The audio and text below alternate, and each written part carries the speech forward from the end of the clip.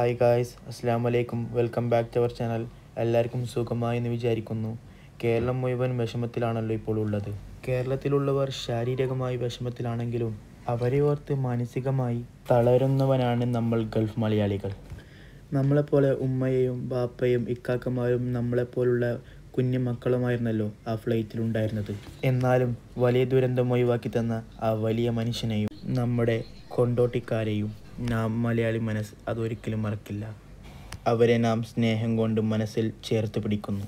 അതുകൂടാതെ അള്ളാഹുവിന്റെ റഹ്മത്തും കൂടി ഉണ്ടായിരുന്നില്ലെങ്കിൽ അതൊരു തീജ്വാലയായി മാറിയനെ. എല്ലാ വിഷമങ്ങളിൽ നിന്നും രക്ഷ നേടാൻ നമുക്ക് പ്രാർത്ഥിക്കാം.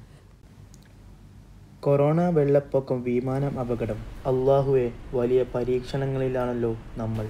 അത്യാഹിതങ്ങളിൽ നിന്നും ഞങ്ങളെയും സഹോദരങ്ങളെയും പ്രത്യേകം ഈ നാടിനെയും കാക്കണേ നാഥ. രക്ഷാപ്രവർത്തനങ്ങളിൽ ഏർപ്പെട്ട സഹോദരങ്ങൾക്ക് എല്ലാ സംരക്ഷണവും നൽകണേ നാഥ.